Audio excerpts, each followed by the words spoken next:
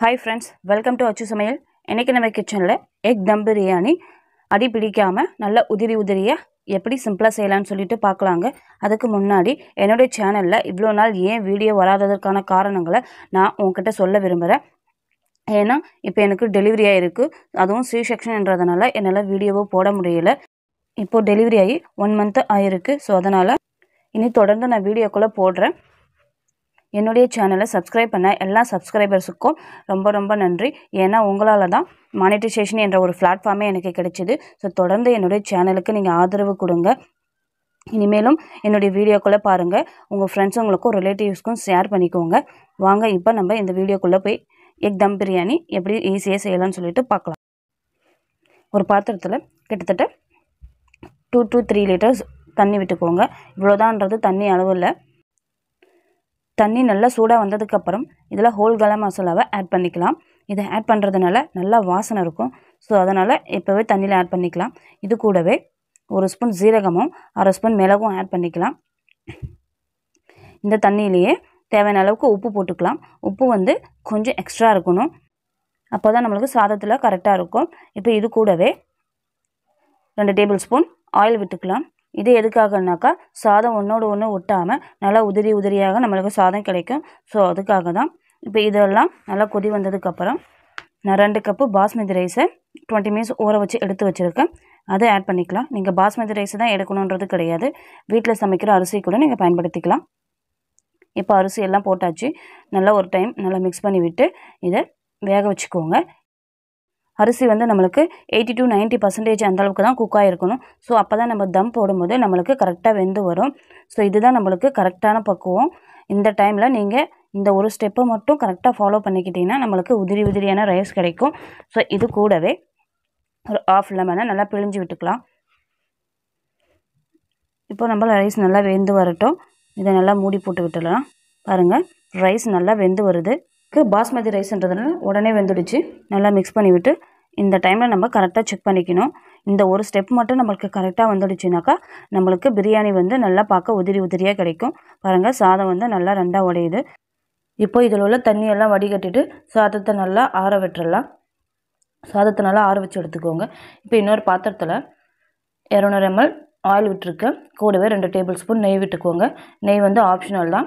நெய் சேர்த்தனா நல்லா ஃப்ளேம் கிடைக்கும். ஸோ அதுக்காக தான் எண்ணெய் நல்லா காஞ்சதுக்கப்புறம் இதில் ஆறு மீடியம் சைஸ் வெங்காயத்தை ஸ்லைஸாக இதுமாரி கட் பண்ணி போட்டிருக்கேன். இன்றைக்கி நான் ரெண்டு கப் பாஸ்மதி ரைஸுன்றதுனால ஆறு வெங்காயத்தை எடுத்திருக்கேன். நீங்கள் ஒரு கப் எடுக்கிறதுனாக்கா மூணு வெங்காயமே போதும். இப்போ வெங்காயத்தை நல்லா பொன்னிறமாக வறுத்து எடுக்கணும். ஒரு மூடி போட்டு வெங்காயத்தை நல்லா வதக்கி எடுக்கலாம். பாருங்கள் வெங்காயம் இந்த அளவுக்கு நல்லா செவந்து வரணும். அப்போ தான் நல்லா டேஸ்ட் இருக்கும் நம்மளுக்கு பிரியாணி. இப்போ இதில் ஒரு பாத்திரத்தில் தனியாக எடுத்து வச்சுக்கலாம்.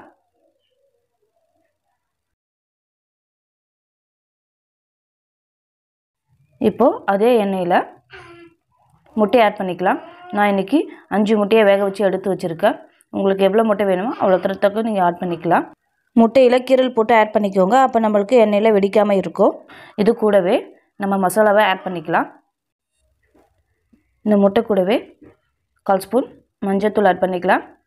ஒரு ஸ்பூன் மிளகாத்தூள். கூடவே அரை ஸ்பூன் கரம் மசாலாவும் ஆட் பண்ணிக்கலாம். இப்போ இந்த மசாலா கூட தேவையான அளவுக்கு உப்பும் ஆட் பண்ணிக்கலாம். இப்போ இந்த முட்டையை நல்லா இந்த எண்ணெயிலேயே வறுத்து எடுத்துக்கலாம். லோ ஃப்ளேமில் வச்சு வறுத்து எடுத்துக்கோங்க. அப்போ முட்டை நம்மளுக்கு கருகாமல் கிடைக்கும் மசாலாலாம் இப்போ முட்டை நல்லா வறுபட்டுடுச்சு. இப்போ இதை எடுத்து தனியாக ஒரு பிளேட்டில் எடுத்து வச்சிடலாம். இப்போ இந்த எண்ணெயிலேயே நான் பிரியாணி இலை லவங்கம் பட்டை ஏலக்காய் எல்லாம் எடுத்து வச்சுருக்கேன். அதை ஆட் பண்ணிக்கலாம். அது கூடவே ரெண்டு டேபிள் ஸ்பூன் இஞ்சி பூண்டு பேஸ்ட்டை ஆட் பண்ணிக்கலாம். இஞ்சி பூண்டு பேஸ்ட்டு பச்சை வாசனை போகிறவிடையும் நல்லா வதக்கிக்கோங்க.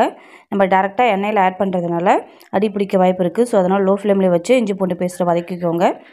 இதில் ரெண்டு பச்சை மிளகா மூணு மீடியம் சைஸ் தக்காளியை பேஸ்ட் ஆக்கி வச்சுருக்கேன். அதுவும் ஆட் பண்ணிவிட்டு இதனுடைய பச்சை வாசனை போகிற வரையும் நல்லா வதக்கி எடுத்துக்கலாம். பாருங்கள் தக்காளியினுடைய பச்சை வாசனை போனதுக்கப்புறம் இதில் நம்ம மசாலாவை ஆட் பண்ணிக்கலாம். லோ ஃப்ளேம்லேயே வச்சுட்டு மசாலா ஆட் பண்ணிக்கோங்க. ஸோ அப்போ மசாலா வந்து நம்மளுக்கு கருகாமல் கிடைக்கும். ரெண்டு டேபிள் ஸ்பூன் தனி மிளகாத்தூள் ரெண்டு டேபிள் ஸ்பூன் மல்லித்தூள் ஒரு ஸ்பூன் கரம் மசாலா ஒரு ஸ்பூன் பிரியாணி மசாலா. இது எல்லாத்தையும் சேர்த்து லோ ஃப்ளேமில் வச்சு நல்லா வதக்கி எடுத்துக்கலாம். மசாலானுடைய பச்சை வாசனை போகிற வரையும் இதை நல்லா வதக்குனதுக்கப்புறம் இதில் தேவையான அளவுக்கு உப்பு ஆட் பண்ணிக்கலாம். இந்த மசாலாவுக்கு மட்டும் உப்பு ஆட் பண்ணிக்கோங்க. ஆல்ரெடி நம்ம சாதத்தில் உப்பு போட்டு வேக வச்சுருக்கோம். ஸோ அதனால் கொஞ்சமாக உப்பு ஆட் பண்ணிக்கோங்க. பாருங்கள் இது எல்லாத்தையும் நல்லா மிக்ஸ் பண்ணதுக்கப்புறம் இது கூட நம்ம தயிர் ஆட் பண்ணிக்கலாம். டூ டேபிள் ஸ்பூன் தயிர் ஆட் பண்ணிக்கோங்க.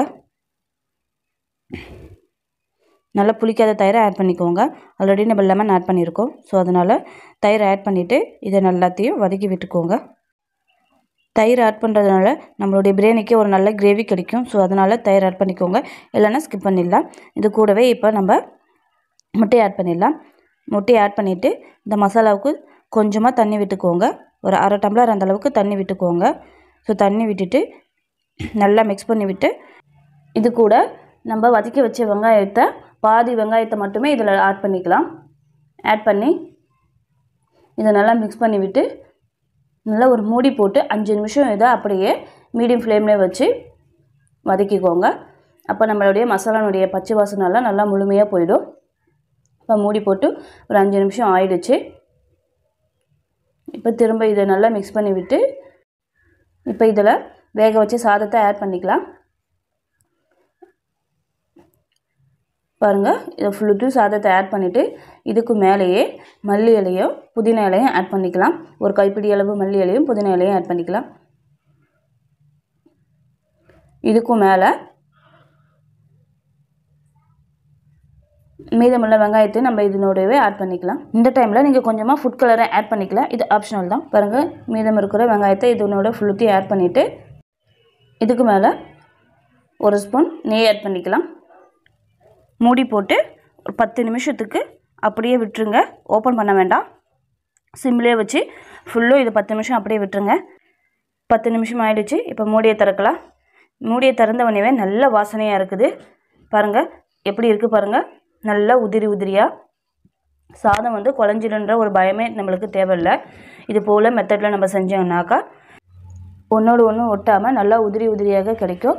பிகினர்ஸ் கூட இதை ஈஸியாக செஞ்சிடலாம். இப்போது ரெண்டு பக்கமும் லைட்டாக கிளறி விட்டுக்கோங்க. ரொம்ப போட்டு கிளற வேண்டாம். இல்லைன்னா சாதம் நம்மளுக்கு உடஞ்சிடும். ஸோ அதனால் சும்மா லைட்டாக ரெண்டு பக்கமும் இப்படி போட்டு நல்லா மிக்ஸ் பண்ணிவிடுங்க அவ்வளோதாங்க நம்மளுடைய எக் தம் பிரியாணி. சிம்பிளாக நல்ல டேஸ்டியாக ரெடி ஆகிடுச்சு இது போலவே நீங்களும் உங்கள் வீட்டில் செஞ்சு ட்ரை பண்ணி பாருங்கள் இந்த வீடியோ உங்களுக்கு பிடிச்சிருந்தா என்னுடைய சேனலுக்கு சப்ஸ்கிரைப் பண்ணிக்கோங்க. தேங்க்யூ